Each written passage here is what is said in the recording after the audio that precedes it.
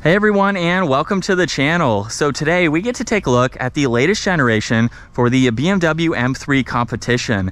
This model is finished off in frozen brilliant white metallic.